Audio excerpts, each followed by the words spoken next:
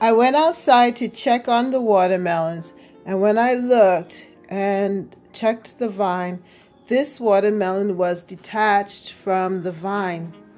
And I looked at the stem, and it was uh, brown, browning here, and also the tendril had been dried. Um, it feels good, and it sounds reasonable but I'm going to have to cut it and see exactly what's up with this watermelon. We have just done a watermelon test to see is the watermelon ripe.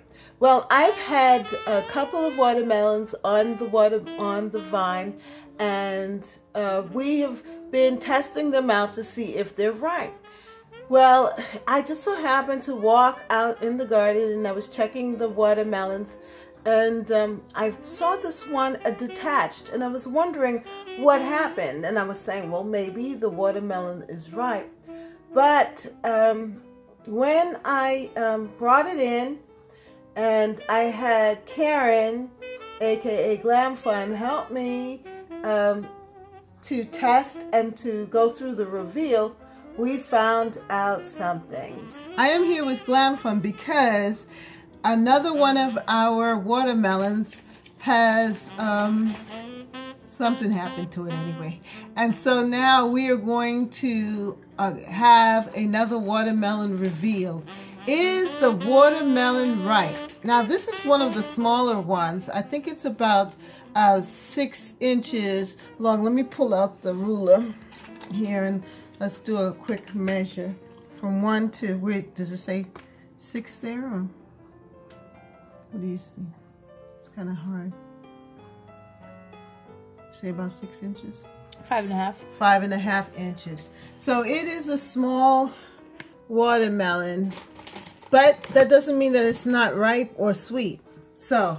You sure about that? so we will know if the watermelon is ripe. And I, she's going to give her opinion as to if the watermelon is ripe. So it's not just me deciding that it's ripe or sweet, but I have her also with this taste test. Okay, so what's the right way to cut it? Because last time we got upset when I I was cutting. Should I cut it across and open this way or this way? Across. Across? Okay, here we go. So watch as we shear. the reveal. Is the watermelon ripe? Uh-oh. It's not good. It's the same looking situation. Look at that. Oh no.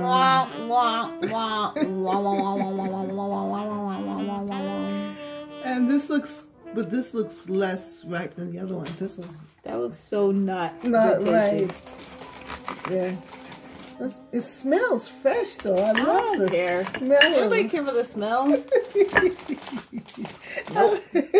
I like this the smell. It's not it. working. This is not work. This one. Mm -mm. Oh well. So sad. Yes. So this is what it looks like. Watermelon was not ripe, and this poor little watermelon. it um looks like it went through some hard times there from the rain and the lack of sunshine that it um, just didn't make it. It wasn't able to develop. And if you take a look at it, it even looked like it was spoiling in different different sections there. And so is the watermelon ripe? No, this watermelon is not ripe at all. Actually, it looks like something happened in its development. The question is, is the watermelon ripe? No, this watermelon is not ripe. And if I were to give it a rating from one to five, it would rate as one for taste. Um, the other watermelon that I had um, cut tasted so much more better. And even though it wasn't ripe, it still had a sweet taste to it. But this one, did not. It actually tasted as if it was spoiling. So we have two more watermelons left out there to decide is the watermelon ripe and hopefully one of them will be ripe and ready for us to eat here.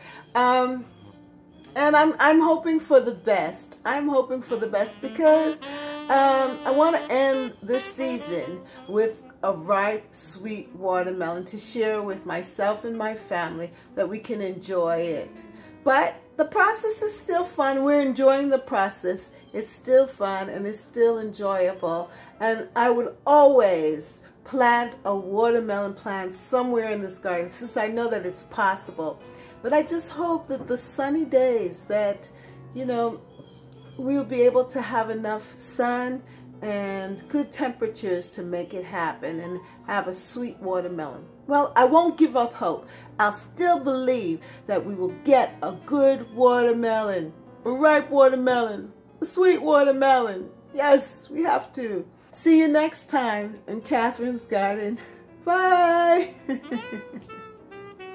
Ooh, is the watermelon ripe?